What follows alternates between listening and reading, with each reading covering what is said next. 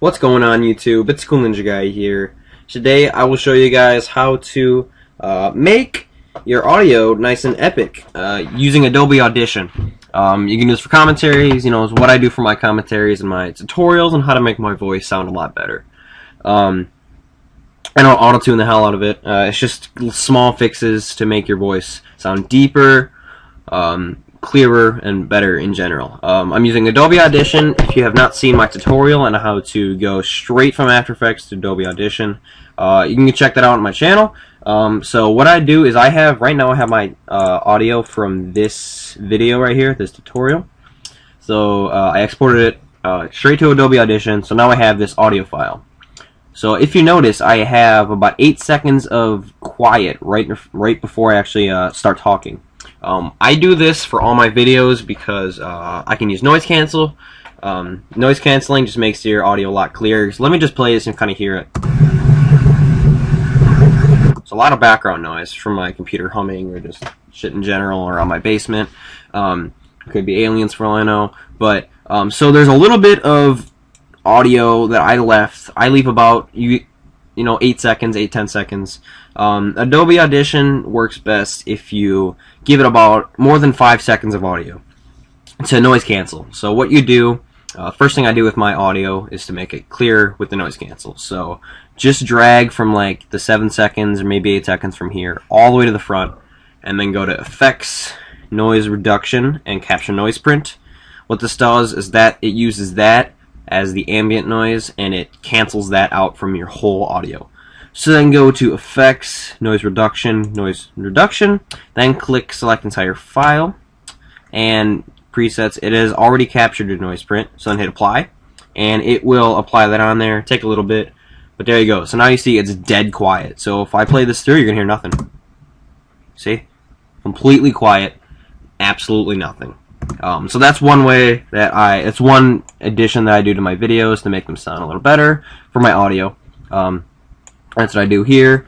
And then what I do now is I usually trim this off, but I'm going to trim that off in After Effects because my video is kind of, you know, on there as well.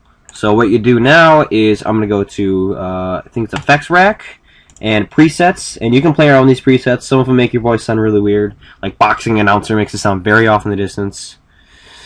Well, looks like my uh, computer is not good enough, but let me just play the series. Here it sounds really weird. See, that's just me talking, but it sounds like it's in a big arena, which I don't like. There's a lot of different things. Music enhancer, uh, see, underwater speech. Shut up, I know. My computer stinks you know, it sounds like it's underwater with the right reverb and stuff.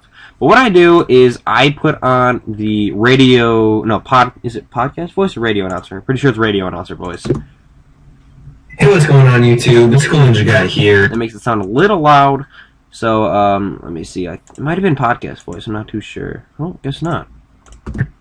Hey, what's going on YouTube? It's Kool Ninja Guy here. Well, that one sounds good as well. If I just go default and there's nothing on there, I can play it. Hey, what's going on YouTube? It's Kool Ninja Guy here. It sounds a little bland, but what I like to do is I usually throw on that radio announcer voice. I do throw that on or podcast voice, and it can make my voice sound a little better.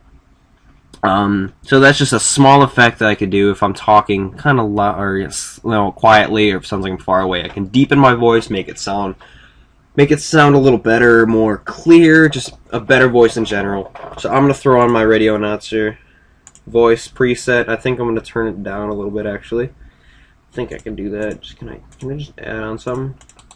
Uh, I don't know. Eh. All right, but um, I can just turn this down on After Effects then. But so once you get your whatever preset you want, or you can play manually with it, all you do is hit apply, and it will. If you're not selecting anything, it will do the whole clip. So it's slowly adding this on. Here we go then I can play it through. You see, it's definitely a lot spikier and a lot deeper. Hey, what's going on YouTube? It's Kool Ninja Guy here. You know, sounds a lot deeper, a lot clearer. Uh, that's what I do for my commentaries. I add that. Um, that's really all I add. You can play around more, add whatever you like. Um, Adobe Audition has been cool. Um, a cool amount of other things you can do as well. Like if you're a music producer, there's other settings, and look at this. There's even an export to SoundCloud, upload to SoundCloud. But when I'm done, I just go export file, and I export it as a WAV um, this, and it's I have it to my audio folder, and then I just hit OK, and it exports, and I just you know do whatever I want with it. So uh, that's it for this tutorial. Um, if you enjoyed, please hit the like button below, subscribe button up top. Helps me out a ton. And yeah, so thank you guys for watching. My name's Kool Ninja Guy, and I'll see you later. Here we go. Yo!